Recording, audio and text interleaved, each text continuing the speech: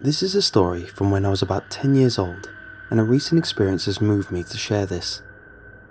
As I'm well into my 30s now, part of this story may not be especially clear, rambling, and it may sound a bit dramatic, but if I'm able to convey even a hundredth of what I felt when these events took place, I trust you'll forgive me. Throughout my childhood, I moved roughly every two years to various military bases in the US as my father was active duty. When I was about nine, we moved to a base relatively far out west, five miles from a Native American reservation. I went to school off base, and I would say maybe a third of the school was Native American to some degree.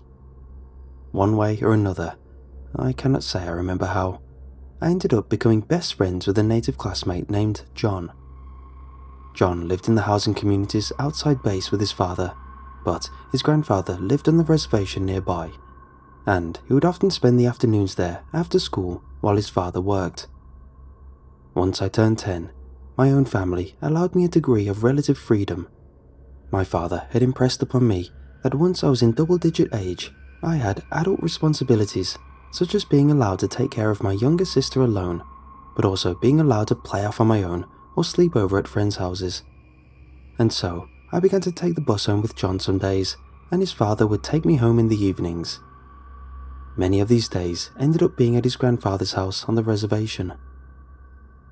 I honestly never saw much of the reservation, as John's grandfather lived in a house off on his own ways into the woods. But from what I did see, things were largely undisturbed. To a child that loved building forts and climbing things, the woods were amazing. John and I would often spend the entire time outside digging child sized foxholes with his grandfather's myriad of tools or making little stick by stick progress on what we envisioned would one day be a sort of treehouse mansion.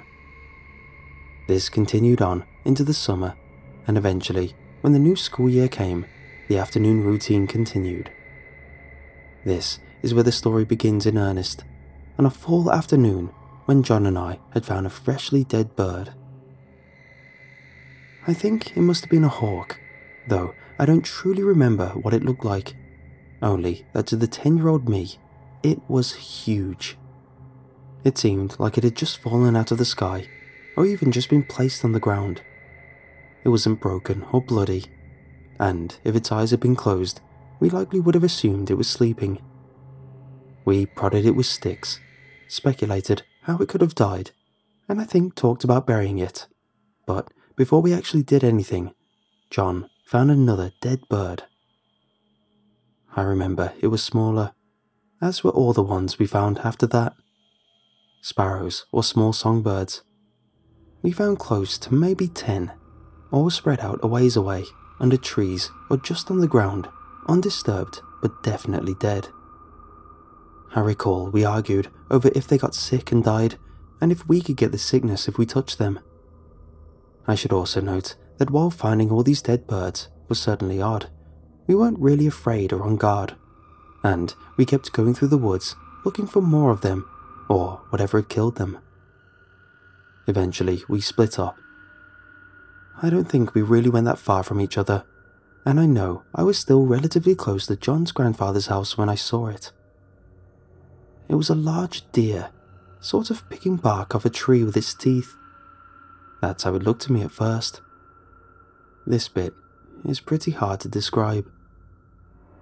I saw a deer. I saw it picking bark off the tree with its teeth, bit by bit, but I knew it was not a deer. I cannot say how, but I simply knew it wasn't.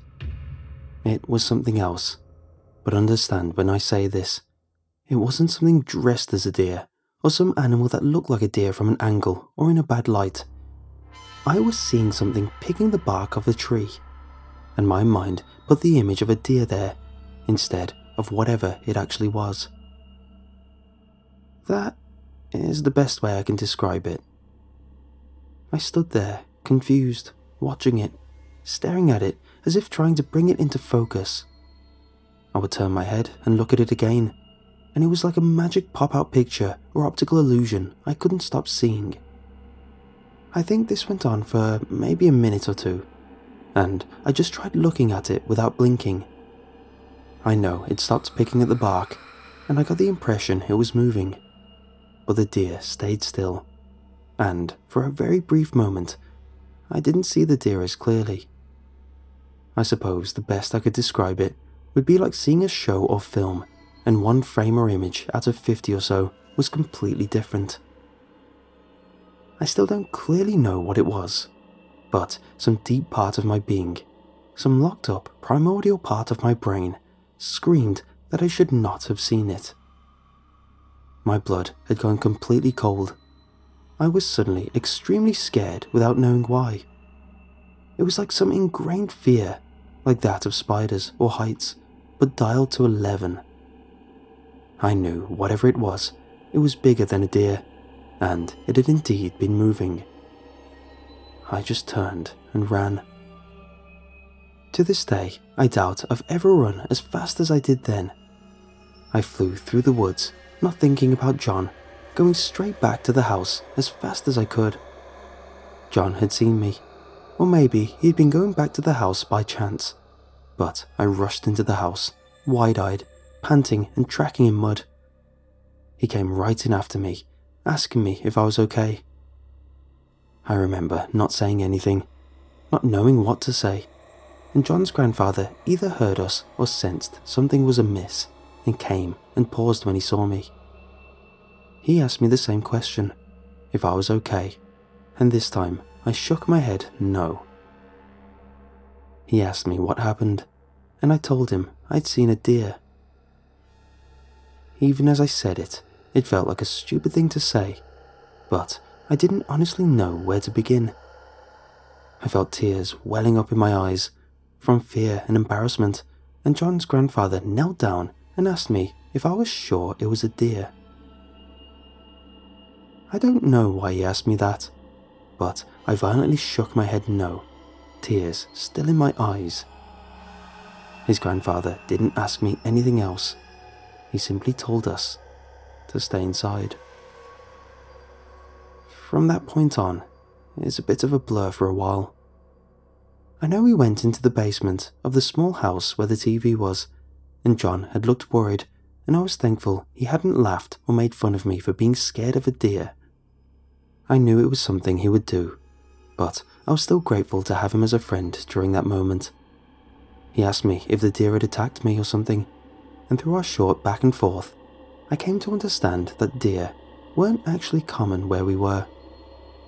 I had often seen them at other places I'd lived, and while John certainly knew what a deer was and what it looked like, he had never seen one on the reservation or around his home. I remember his grandfather bringing in wind chimes and small potted plants from outside, as that had struck me as odd. But nothing else really happened. Eventually, John's father came to get us, and I remember his grandfather telling him we all had to stay the night, and they talked at length in some other language, which I presumed may have been some Native American language, but it was nothing I recognized or remembered, being 10 at the time. I remember John's father agreeing we should spend the night quite easily, and how we were going to wait and call my parents after dinner. This was before cell phones. I was actually quite excited for a sleepover, until at some point John mentioned to his grandfather all the dead birds we had found earlier. He simply nodded and said something to John's father, who began to actually look worried. It was at this point I began to grow worried too. Up until that point, I hadn't thought of the deer and the birds as connected. My mind simply hadn't put them together. But when it then dawned on me that the deer thing had killed the birds, I started to feel the same fear from when I'd seen it. I didn't think it had chased after me, but John's father was worried, and the sleepover was likely tied to it too. I wondered if it was dangerous for us to go outside. John's father had gotten here fine, and it was still pretty light outside for dusk. I think I'd gone to the window to look outside to see John's father's car, and then I'm not really sure. Whatever I did, when and how I left the house was gone from my memory. I was simply outside. I was sure I had walked there on my own. I hadn't felt a strong desire to go. I wasn't looking for anything or lured there. I simply went outside, and when I was myself again, so to speak, I was outside, and I saw it. It wasn't a deer this time. It was a tree, and I knew it right away. Up until this point, as I write this, I remember everything that I've recounted with relative certainty. But from that moment, my memories are etched into diamond in my brain. I would likely remember this feeling until the day I die, no matter how old I grow. What I saw as the tree gave way was something slender but huge. It was hunched over, and I know if it had stood, if it could stand, it would have been much taller than a man. It seemed uneven and dark, and though I couldn't look away, I can recall it clearly in my mind. I still don't know exactly what it looked like, or if it had a head, or eyes, or hands, etc. My mind fought hard to keep it as a tree while I couldn't look away from it. And while I was scared before I saw it, what I felt then was true terror. To clarify, you can feel fear. You can justify it, battle it, almost examine it within yourself when presented with its source. But not terror. Terror isn't felt, it overcomes you. It is debilitating, mind numbing, far beyond the simple fear of death. Any other thought or feeling, even the senses, are like corks faintly bobbing in the raging waves of the storm that is terror. To this day, I've never been as stone cold afraid of anything in my life as when I was in that moment. It had seen me. It didn't look away at me per se. It didn't turn or move, but I felt his attention shift to me. It was like being in a huge spotlight and then suddenly have it focus to a narrow beam directly on you. I was so numb I hadn't noticed I was crying, and once I did, I tried hard not to make any noise, not to breathe. I closed my eyes and was looking downwards at the ground. I remember my tears falling left to right. It was still focused on me, so overwhelming and stifling. I know it might sound silly, but this sole experience had actually given rise to my acceptance of religion some years later. If this thing was a demon, then hell didn't need fire and flames this being was a thing that shouldn't exist. I didn't realize it as I was doing it, but I was about to start walking toward the thing until I heard a shrill whistle from behind me, and on reflex, I pivoted, foot in the air, mid step, and saw John's grandfather's arm beckoning me from the doorway of the house. His whole body was behind the solid white door, just his arms sticking out, beckoning me over and over. I was so stunned and in shock, I simply walked towards it, numbly shuffling, eyes focused on the motion of his hand. I no longer felt the thing's attention on me, and some part of me was sure that I was already dead. My legs carried me to the door, and John's grandfather shut the door behind me. He had been holding his shotgun. John's father knelt with me and gave me a hand towel from the kitchen as I began sobbing in earnest the terror relenting and the shock of being alive taking its place. John was nearby and looked as concerned as his father and grandfather, though I didn't know if he actually knew what was going on. When I calmed down, we were all sitting at the small table in the kitchen. I noticed all the blinds and curtains had been closed, and though I didn't ask anything, when I looked at John's grandfather, my question must have been plain on my face. He glanced at the shaded window, then turned to me and simply said, Stick man, and raised his arms and growled to imitate a monster. I didn't ask anything else that night, nor did John, and we all had a quiet dinner and eventually we went down to the basement and set up the camping cots John and I had used in previous sleepovers. Eventually, John's grandfather came down and played cards with us on the floor. He taught us how to play poker, and we gambled with a big bag of M&Ms he brought out from somewhere, divvying them out to us and laughing.